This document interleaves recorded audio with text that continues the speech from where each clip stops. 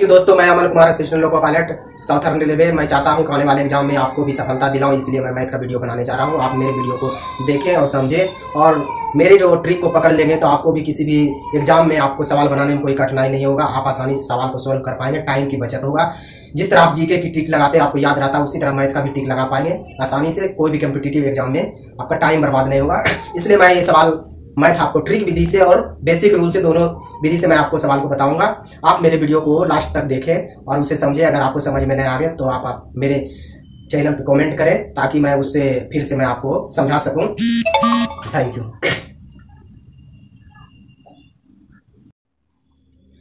तो ये रहा सवाल आपके लिए दोस्तों। फ्रेंड आपका सवाल एक अच्छे अच्छा सवाल है जो कि आपके एग्ज़ाम में ज़्यादा ज़्यादा पूछा जाता है जो कि समय भी ज़्यादा लगेगा।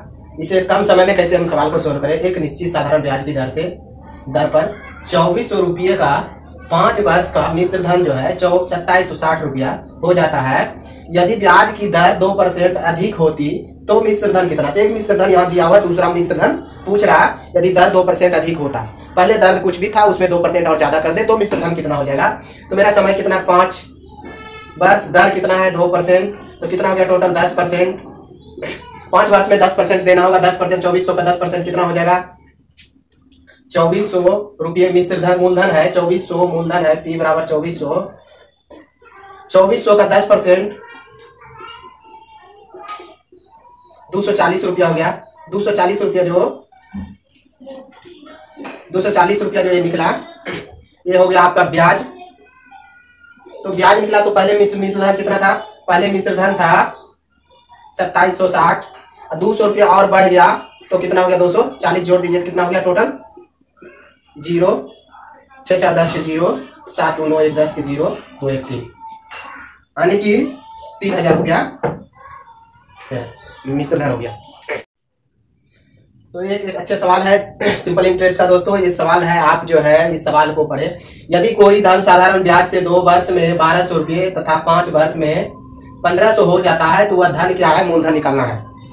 तो आपके लिए एक एक बड़ा सा फॉर्मूला है जो कि आप याद रख सकते हैं, कभी कंफ्यूज भी कर सकते हैं, परीक्षा में याद नहीं रहा तो सवाल आप नहीं बना पाएँगे, लेकिन मैं आपको ऐसा भी ट्रिक बताएँगे जो कि खुद पकड़ लेंगे कि इसका आंसर क्या होगा। आसानी से। ऐसा नहीं है कि मैं आपके सामने फॉर्मूला रख दिया तभी मैं इस सवाल को बना पाऊँगा फॉर्मूला नहीं भी रहेगा, मैं दूसरे या तीसरे, चौथे ट्रिक से भी मैं मैथ को बना सकता हूँ और आपको बता सकता हूँ।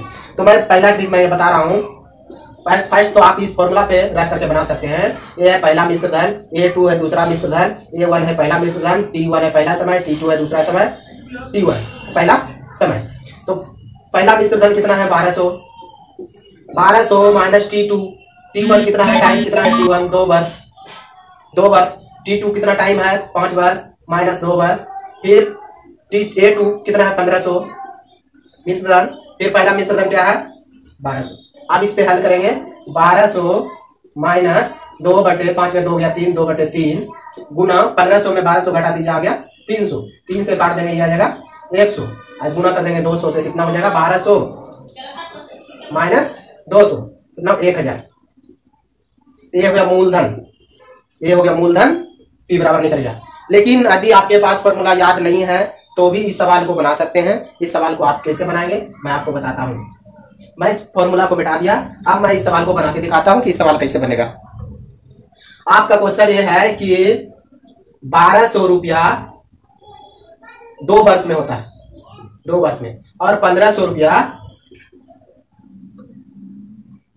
पाँच वर्ष में होता है। कहने का मतलब दो वर्ष यहाँ लगा और इधर आने में कितना लग गया? थ्री वर्ष के बाद पाँच वर्ष में। थ्री वर्ष बढ़े तो पंद्रह सौ हो गया तीन वर्ष बढ़ना पड़ा। तीन वर्ष दो में तीन जोड़े तो पाँच वर्ष हुआ। तो ये भी तो आप देख रहे हैं कि इसका डिफरेंस कितना हो गया? तीन सौ रुपया। तीन वर्ष में बढ़ा तीन सौ रुपया। तो दो वर्ष में कितना बढ़ा होगा? दो सौ रुपया। तीन वर्ष में बढ़ा तीन सौ तो दो वर्ष में कितना बढ़ा होगा? दो सौ। सिंपल इंटरेस्ट है। तो दो सौ इसमें माइनस कर दीजिए। दो सौ इसमें माइनस कर दीजिए। तो माइनस होकर यहाँ क्या आ जाएगा?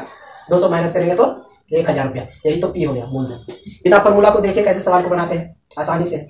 तीन वर्ष में बारह सौ से पंद्रह सौ हुआ, तीन वर्ष में तीन सौ बढ़ा तो दो वर्ष में कितना बढ़ा हुआ इसमें? दो सौ रुपया, दो सौ रुपया बाई करेंगे तो मूलधन पता हो जाएगा। तो ये रहा मूलधन आसान बिना सूत्र से।